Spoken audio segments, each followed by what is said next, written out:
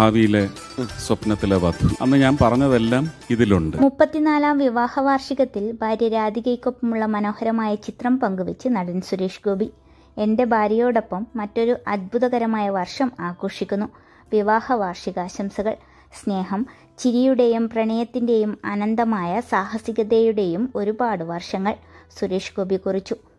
മലയാളത്തിന്റെ മാതൃകാ ദമ്പതികളാണ് സുരേഷ് ഗോപിയും രാധികയും. ആയിരത്തി തൊള്ളായിരത്തി തൊണ്ണൂറ് ഫെബ്രുവരി എട്ടിനായിരുന്നു ഇവരുടെ വിവാഹം. ഗോകുൽ സുരേഷ് ഭാഗ്യ സുരേഷ് ഭാവിനി സുരേഷ് മാധവ് സുരേഷ് എന്നിവർ മക്കളാണ്.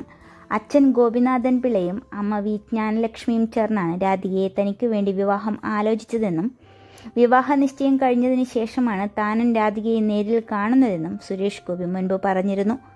മഴവിൽ മനോരമയിലെ നിങ്ങൾക്കുമാകാം കോടീശ്വരൻ പരിപാടിയുടെ ഒരു എപ്പിസോഡിലാണ് തന്റെ വിവാഹത്തെക്കുറിച്ച് അധികം ആർക്കും അറിയാത്ത കാര്യം താരം വെളിപ്പെടുത്തിയിരുന്നത്.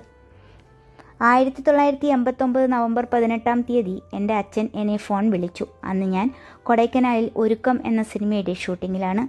ഫോണിൽ അച്ഛൻ പറഞ്ഞത് ഇങ്ങനെ ഞങ്ങൾ കണ്ടു. ഞങ്ങൾക്ക് ഞങ്ങളുടെ മകളായി മരുമകളായി ഈ പെൺകുട്ടി മതി.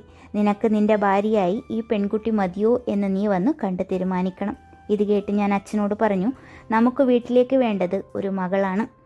കാരണം നിങ്ങൾക്ക് നാല് കൊമ്പന്മാരാണ്. ഞങ്ങൾ നാല് സഹോദരന്മാരാണ് പെൺകുട്ടികളില്ല. ആദ്യമായി ഈ കുടുംബത്തിലേക്ക് വലതുകാൽ വെച്ച് കയറുന്നത് ഒരു മകളാകണമെങ്കിൽ നിങ്ങളുടെ നിശ്ചയത്തിനാണ് ഞാൻ മതിപ്പ് കൽപ്പിക്കുന്നത്. എനിക്ക് പെണ്ണ് കാണണ്ട. ഞാൻ കെട്ടിക്കോളാം എന്നാണ് രാധികയുടെ സെലക്ഷനെക്കുറിച്ച് ആദ്യം പറയുന്നത്. ഇതൊക്കെ കഴിഞ്ഞ് രാധികയെ ഞാൻ കാണുന്നത് ഡിസംബർ മൂന്നാം തീയതിയും അതിനു മുമ്പ് ഞങ്ങളുടെ വിവാഹ നിശ്ചയം നടന്നിരുന്നു. സുരേഷ് ഗോപിയുടെ വാക്കുകൾ ഇങ്ങനെയായിരുന്നു. അതേസമയം കഴിഞ്ഞ മാസമായിരുന്നു സുരേഷ് ഗോപിയുടെയും രാധികയുടെയും മകളായ ഭാഗ്യ സുരേഷിന്റെ വിവാഹം. മലയാളത്തിൽ അടുത്തിടെ നടന്ന ഏറ്റവും വലിയ താരവിവാഹങ്ങളിലൊന്നായിരുന്നു അത്.